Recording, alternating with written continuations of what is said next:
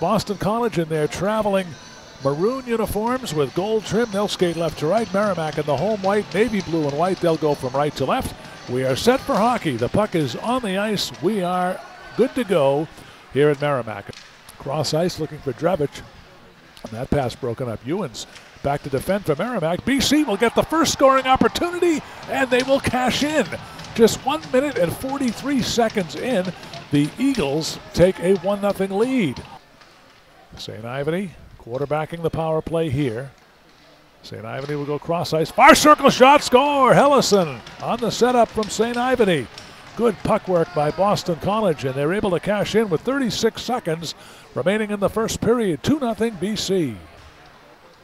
Here again, McBain might not be on. And a turnover here. BC moving in. Nesterenko cross ice shot and a score off the turnover. Nesterenko set the play, and knocking it in was Brandon Kruse to make it 3 0 Boston College.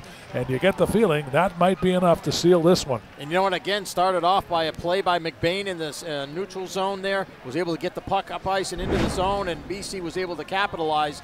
Uh, you see here, actually, Merrimack was trying to start the uh, the breakout, but man loses an edge, and then the Eagles are able to take advantage. But Welscher near boards. Over to Derflinger. Derflinger shot from the angle. Saved up. Rebound to the goal. Blocked in front of Welscher with a turnaround. He scores!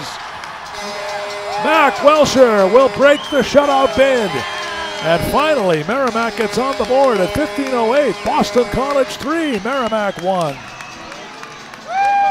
Plays all started by Jake Derflinger, who's able to work hard. Merrimack's had trouble tonight, John, getting the puck to the net, getting bodies to the net. You see Derflinger there at the edge of the crease. He does it there. It comes out high in the slot. Welscher turns around, just able to pull the puck away from the BC defender and shoot it into the net, into the net past Eric Dopp.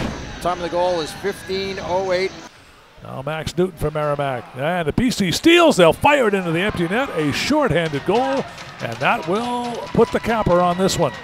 And the Boston College Eagles with a statement victory here on the road.